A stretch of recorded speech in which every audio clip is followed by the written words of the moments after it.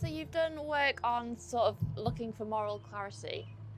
How can we go about searching for that? It's funny because we had a um, in the discussion on evil a little while ago. Various people remarked that um, evil sells better and um, creates more interest than goodness, and that, of course, is uh, has been my own uh, experience. I did write a book that I spent 10 years writing called Evil in Modern Thought. I'm still proud of that book. Um, the point was to move philosophy away from questions about knowledge and realism and skepticism and how can we ever know anything and is this a hand or is this a cup um, which is the way that many people in university are introduced to philosophy my argument is if you actually look at um, the old texts i'm confining myself to western philosophy because that's what i know best uh, what you see actually is that people are asking a different question, namely, um, how can I find meaning in my life and live it well in the face of inexplicable and unjust suffering and evil? And having written that book, um, I felt the strong need to do something else. I don't think it's healthy um, to write, uh, you know, to spend one's life focused on evil. I think if we focus on evil, it's actually because um, some piece of us wants to find. Um, well, I, I think we actually do have moral ideas, and we'd like to realize them. So, how do you get moral clarity? Um, here's how you don't get it. I don't think philosophy goes very far um, by trucking in definitions. Um, I think people waste a lot of time trying to give general answers um, and general definitions of things like good and evil and moral concepts. I think what we need is to get good about uh, describing very particular situations um, and asking questions about them, and uh, that's how we come to get clearer. What I think is really interesting um, in this particular historical moment is the phenomenon of embarrassment, which is an embarrassing thing, or it should be an embarrassing thing. But I think we live in a culture which has made us comfortable with irony and uncomfortable with ideals. And um, I mean, you look at it in television, and I cannot deny the lure for myself of a series like The Sopranos or um, The House of Cards. They're addictive, um, they're complicated, they're incredibly well done. There's no question about it. Um, but there's a formula at the moment. Not that I spend my life watching all the bloody series there are to watch. I can't. You get too involved and then you can't do anything else. But of the ones that I've watched, the formula is you take somebody who's actually doing something really awful um, and fairly early on, you know, um, murder usually comes up. And then it turns out, of course, that this person is not um, a monster in the way that people like to say, think of Nazis as monsters. They weren't monsters either. Uh, we can talk about that if you like separately. Um, but they turn out to be complicated characters. Tony Soprano has his ducks. Frank Underwood, each of them have their marriages and they may love their wives even if they betray them in various complicated ways. Um, and they're all well done enough to pull you in very strongly. But what's missing in those series is a hero or a heroine. What's missing is someone who is really there simply because they want to do good. They want to leave some good in the world. Um, and I mean, if you had those kinds of shows, um, obviously you don't want to have stick figures either. You would want to have people um, who had flaws. I'm not talking about superheroes. I mean, we do have superheroes, uh, films about superheroes make lots of money, but we know that they're fantasy. Um, this, most of the stories about reality um, tend to focus on the evildoers.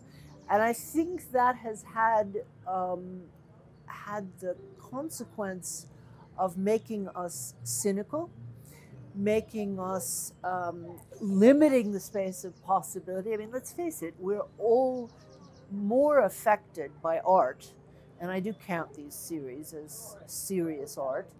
Um, we're more affected by that than by abstract principles. Okay, um, the space of possibility is peopled um, by characters, either real or, or fictional. And the less we see of people actually aspiring um, to fulfill moral ideals of justice um, and, you know, making some contribution to leaving the world slightly better than you found it, the less it seems real, the more it seems like a fairy tale. Yes, that's what I believed when I was a child. Uh, I myself have experienced very often. First of all, my uh, I, I, like my book on evil. I'm proud of it, but that's the one that has been translated into the most languages, sold the most copies. Um, the book on moral clarity, you know, it did okay. It's still in print. It's in a couple of different languages, um, but um, it doesn't get the kind of attention. And I don't think it's because it's a worse book. We were talking in the other session about other examples of of uh, that kind of a phenomenon. But um, people will often accuse me uh, when I talk about moral clarity of being naive, when I talk about idealism. Um, and, you know, in those situations, I'll have to say, wait a second, you know, I actually know a lot about evil. I'm not, I'm, I'm not suggesting first of all, um, that all we need to, uh, that people are full of ideals, and secondly, um, that all you need to do to realize an ideal is to have one. I don't. But what I am saying is that uh, phrases that one hears both in politics and in ordinary life oh, um, be realistic, be more realistic, um, is a way of saying, decrease your expectations of the world, decrease your expectations of what you can do and of what you will get back to the world, uh, get back from the world, what the world can give you. Is that? I hope that's the beginning of an answer to your questions. So does that mean that you would say that we should have more ideals because you think there exist moral ideas, ideals out there in the world that are set for everyone for us to discover? Yeah, actually, I do. Um, and, you know, as soon as you make a statement like that, you have somebody coming and suggesting a straw man version of it. Well, do you mean like they're up in Plato's heaven and, you know, somebody can beam up to them and, and um, decide, of course not, you know? Um, but if you look cross culturally, as a matter of fact, there's a great deal more agreement than we think there is. There are a couple of exceptions. I think questions about the status of women um, differ more in um, different cultures. But if you talk about basic questions of justice, basic questions of fairness, basic questions about honesty, um, cheating, uh, theft, it turns out that once you go from this very abstract point back to specific cases, that actually um, you do get a huge amount of cross-cultural agreement. Um, most people do want, um, you know, good things to happen to people who do good things, and bad things to happen, or at least, um, you know, for people who, who behave horrendously, you don't want them to be rewarded for it. And there's general agreement across the board, yes. So why why then this gap? Why this embarrassment for ideals? Why has it taken us? Why are we still attracted to evil, or evil still exists? Well, I actually think that part of the fascination of of really horrible cases of, you know, um, murders for the sheer uh, sadistic pleasure of it, um, things like that. I I actually think that takes us away from the main forces of evil, which, as Hannah Arendt recognized, are basically banal, okay? Um, people being lazy, um, people focusing on very short term, self interested goals. Um, she wrote a book called Eichmann in Jerusalem. I, I, think, in many ways, it's one of the most important moral texts of the 20th century. Although she was wrong about the person Adolf Eichmann for reasons she could not have known um, because information came out after her death. Uh, her argument is that the reason Eichmann could be in charge of um, the mass murder of six million Jews is that he was simply thoughtless. He didn't know what he was doing. Okay, um, he was following orders. He wanted to get ahead. Um, the sort of ordinary things that all of us do in our lives. Um, turns out that happens to be wrong. He knew exactly what he was doing, um, but that doesn't matter. Um, the Nazis could not have um, have succeeded had there not been millions of people who exactly followed the script that Arendt is um, that Arendt described. Let's take what I think is probably um, the the greatest evil hanging over our heads right now, which is um, the climate catastrophe. Uh, no one planned that. No one wanted it. You know, um, it was all a matter of very small, lazy steps, some of which people even thought were um, innovations and uh, would make people's lives better. And no one thought about the consequences of uh, what was happening. Although, I mean, what's interesting is, I suppose, in that case, Exxon and the other oil companies who actually did have these studies 30 years ago did know exactly uh, what was going on. And my, my question there has always been, you know, don't they have children and grandchildren? And some of them must. And you can't, you, I mean, there can't be enough mountains in the world to buy your family, you know, a, a little island where where um, they're going to be all right. I mean, we are globalized; the effects will affect everyone, but it's much easier to think about. And that's not the only case of evil that um, that I think is a is a banal case of evil, but it's um, it's a good one to take. And I think rather than focusing on that because it's so overwhelming, I think we'd much rather look at, um, you know, what are their names? Jeffrey Dahmer or, um, you know, cannibals and um, people who do really uh, sensationalist crimes and say, okay, um, that's evil. Um, now I know what evil is, and you know I can go home and take a break and look at another series, which is going to show me about the lives of some other really interesting figure who's actually fundamentally evil. Uh, it's hypnotic. Uh, I mea culpa. I confess. I can get into these things. I can binge watch as well as the next person, and I feel shitty afterwards. I feel, you know, like I do that. I mean, those were great donuts over there, but, uh, you know, if I ate too many of them, I'd really feel quite sick.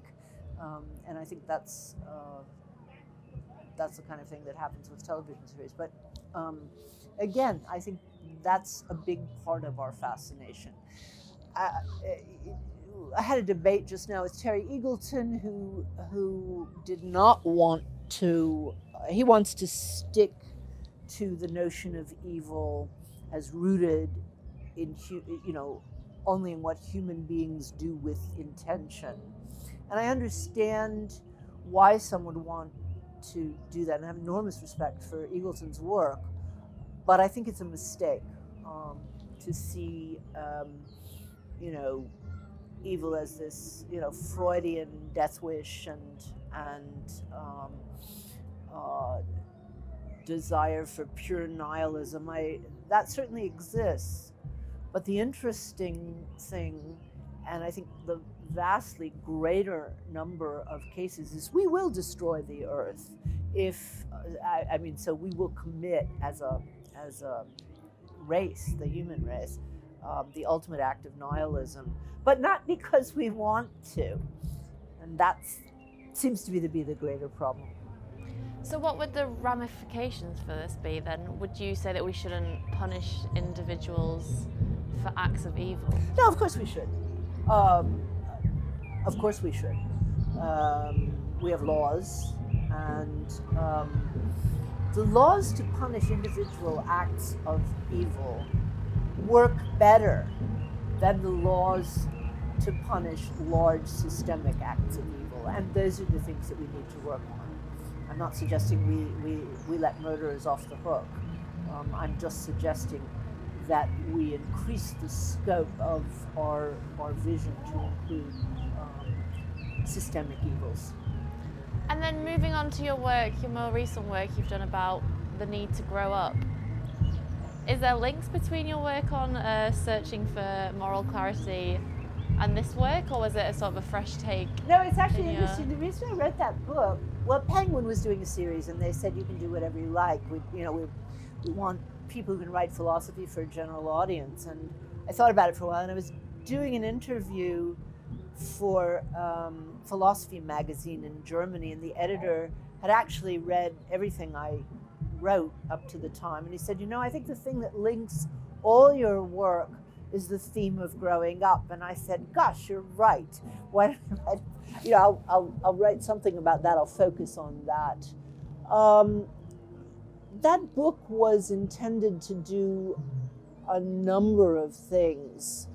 One was to um, undermine the myth that the best time of one's life is the time between about 18 and 28, which is a myth. It's empirically wrong. I hope you're enjoying your lives right now. I do sometimes meet people in their 20s who do, and that's great. Most people I know, once they're out of them, would never choose to repeat them again. Um, they're terribly difficult times uh, of our lives. We're trying to figure out who we are and what we can do and what we want to do and all of that. And added to that comes the voice of people in their 40s and 50s and 60s who say, you know, this is the best time of your life, enjoy it now. And then you think, oh my God, not only am I miserable about, you know, my love story or figuring out what job I want, but this is the best time of my life and I'm not enjoying it, you know. And uh, they've done, social psychologists have done studies. There's a so called U curve that people start getting, they get unhappier and unhappier up to a point. Um, and then it goes up again. Um, and it's different at a rate for different, uh, uh, in different cultures. But the one thing that uh, we know empirically is um, this is not the happiest time of one's life. So, why are we being sold this myth? Um, once again, we're being told um, be realistic, which means accept the world as it is. Uh, the world is extremely limited. Your choices within it are going to be more limited still. And um, you'd better, um, you know, face up to it. You'd better resign. And, you know, where resigning means um, buying into a culture that equates um, growth with having more stuff. I mean, both for the economy, but also for um, you know people as individuals. And uh, the goal in that book was to try and provide a, a view of um, growing up, which I see as rooted in Kant. The most important difference that Kant drew actually, it wasn't just Kant. Kant um, there's a way in which he took it from David Hume. David Hume said there, it, there's a complete difference between the is and the ought. So statements about what is are completely different from statements about what ought to be. Now, what Hume concluded from that is basically there is no ought, all right, um, because it has no basis in empirical facts, all right. It's just, you know, comes from. Uh, he didn't put in those terms, but you can call it wish thinking or somebody's trying to assert their power over you or something like that. And what Kant did was to say, yeah, these are two completely different things, and they both have force and they both have a claim on us. and my argument in that little book is um, being grown up involves keeping one eye on the way the world is and one eye on the way the world ought to be and not confusing the two but not giving up on either one so yeah it is connected with some moral clarity and then who can you identify who creates the myth. Is it sort of a capitalist myth or a hollywood myth a myth that we get from no art? it's much older than that actually. I mean well look it's interesting because um, it's it's very western.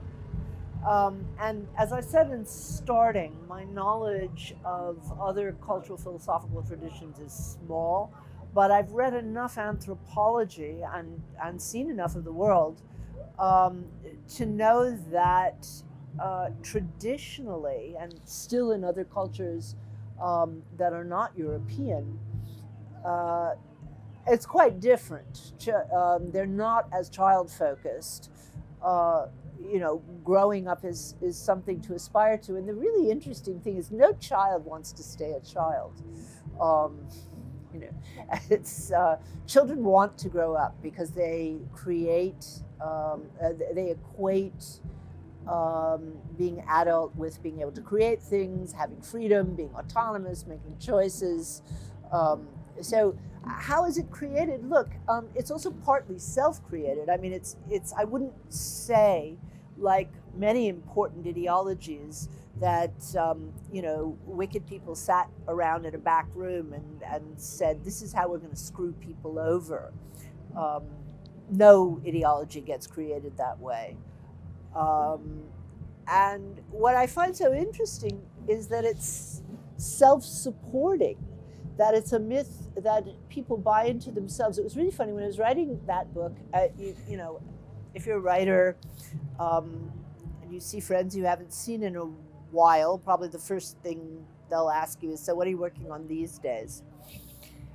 And in three different cases, um, the reaction when I said I'm writing a book called Why Grow Up, they said, "Ew, Susan." What an awful subject. Um, and one of them said to me, uh, My hero was always Peter Pan. Well, the funny thing is that all three of these grown ups, um, they're quite different. They're from also three different countries. Um, but all of them um, fulfill my ideals of being a grown up. They're all, I guess, now in their early 70s they're all working incredibly actively uh, in their chosen. I guess they're all one's an artist, two of them, I guess, are intellectuals. They're all politically active. Um, one of them, you know, uh, literally physically out on the lines. Um, they're all multilingual. They're all, I mean, none of them has, not only has it, none of them stopped being in the world, um, they continue to learn and they continue to give back to the world. And that sense of being absolutely alive is what those people equated with being childlike. Oh, I'm childlike. No, no, no. You're a really successful grown up. Although one of them is completely unsuccessful in conventional terms. I suppose the other two are rather successful conventionally. But um, so it's a self perpetuating ideology. Um, and uh, I'm doing what I can to um, work against it. And from your own experience, then, uh, if your 20s weren't the most happiest times of your life, would you say there is a time in which this ideal of youth is fulfilled? Well, um, so far, I won't say my life has only gotten better because there have been rough spots. Um, but uh, I feel, and I know this is something when you, if you talk to people, um, a lot of things that you worry about in your 20s you don't worry about anymore. You know that you can make mistakes and still pick yourself up from them. Uh, you know that you rarely die of a broken heart. Uh, you know that you can um, have surprises um, you know, still that will send your life in, in quite unexpected directions. You know that you can take up new jobs or or serious activities, and um, you get better at choosing friends. Usually, you know very quickly. Um, and my criterion is always: is this someone I w- want to be friends with if I change countries again? Um, which I didn't know in my twenties you know. So my um, my next book is called Learning from the Germans. I think I've developed a pattern where I try and um, do one book on evil, if you like, and then turn around and do a book on goodness, just because I think it's healthier this way. Um, this is a book that I began writing after um, a young man in Charleston, South Carolina, a white supremacist, murdered nine black churchgoers in 2015. And um, I started thinking about, so I, I am an American. As I said, I was born in the American South and I grew up surrounded by the civil rights movement. But I have spent the better part of my adult life as a Jewish woman in Berlin. So the book starts by saying I, uh, I was born as a white girl in the segregated South, and I'll probably die as a Jewish woman in Berlin. And it's a pretty unusual perspective to have and to think about how cultures deal with past evils. And the book is a departure from for me um, in several ways. Uh, it obviously picks up themes that I've talked about before, but my interest is not in comparing different evils, but comparing different forms of redemption and trying to figure out how societies can recover from, perhaps even grow from, um, massive acts of evil. So it's a book in which I interviewed a lot of people. I, I focused on a comparison between uh, the southern United States and Germany. Originally, I wanted to include Britain, and um, and I thought I would talk about Britain and its relationship to Ireland, because Ireland is a country that I love and spend a lot of time in, so I know it to some degree. Um, to Penguin's great disappointment, I gave up on that third of the book because um, it simply would have made it so long that it um, it, you know, like this instead of only like that, because it it came to seem to me that what's terribly important if you want to learn from these situations is to focus on once again the particulars to really go into detail um, about how people relate to their parents and how people relate to their children and what's learned in the schools and how people deal with food and sex and uh, ordinary life and how these gigantic world historical offense, uh, uh, events affect all of that, affect literature and, and um, monuments and um, those kinds of things. So um,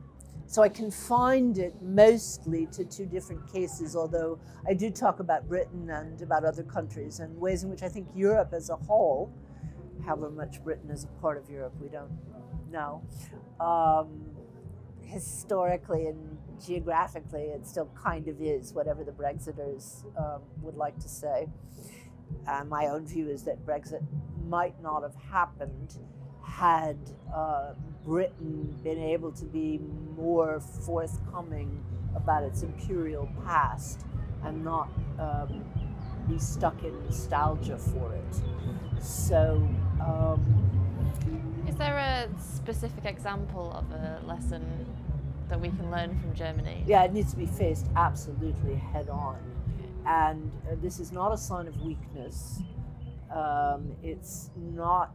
Um, you know, it doesn't weaken a country, it strengthens a country. And it needs to be faced in all kinds of ways. Um, it needs to be faced in the schools, it needs to be faced in the courts. I argue in favor of, of reparations. Um, but it needs to be faced in art, It needs to be faced in public history, so um, that means museums, that means exhibits, that means monuments. And I don't think you can give a recipe, all right? Um, but I think those are broad general areas that every country needs to deal with. And I think it needs to be faced interpersonally. Um, I think people simply need to know um, uh, what happened. And it's, it's quite shocking um, how little the uh, you have to be very careful with what language I use.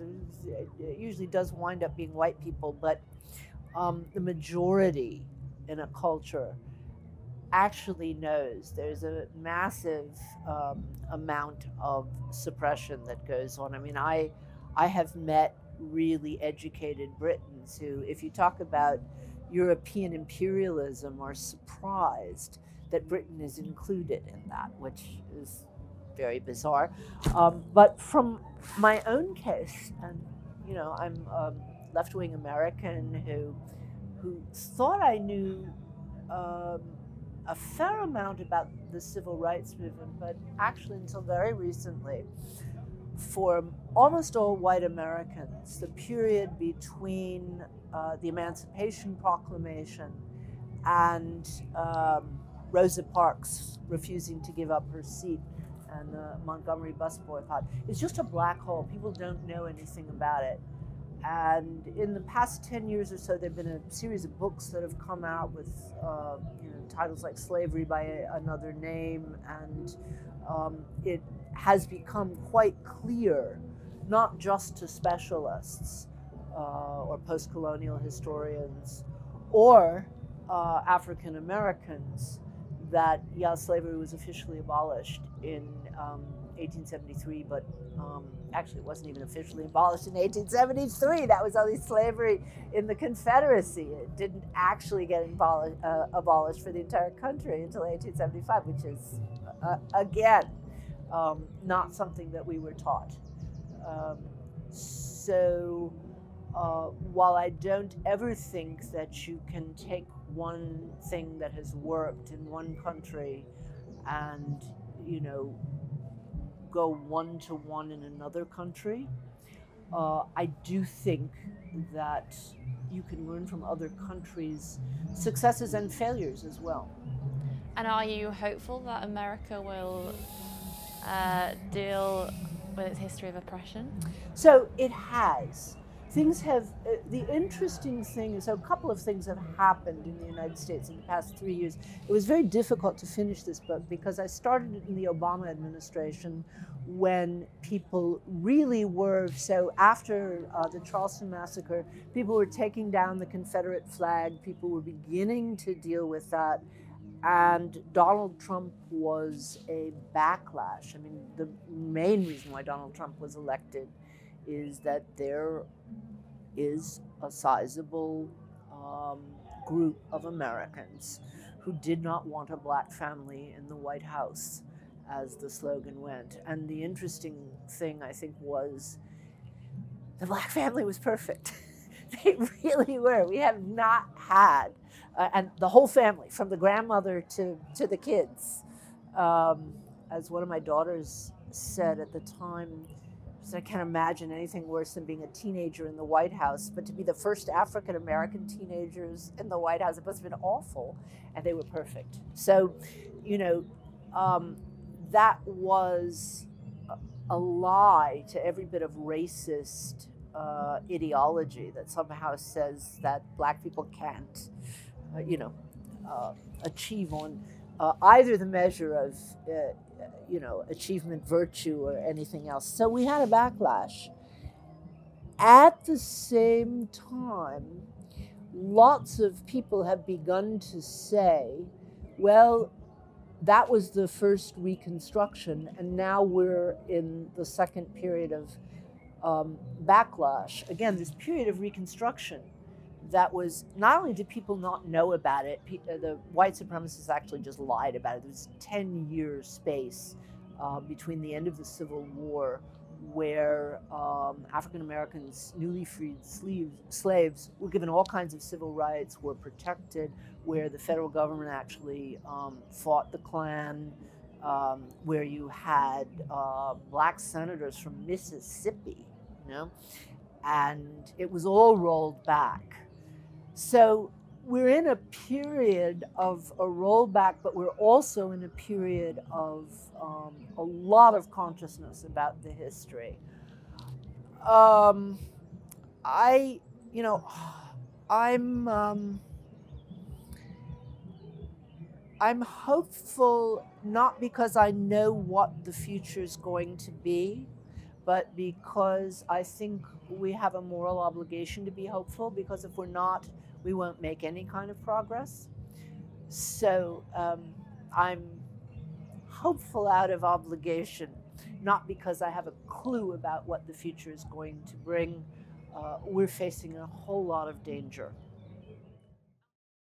For more debates, talks, and interviews, subscribe today to the Institute of Art and Ideas at IAI TV.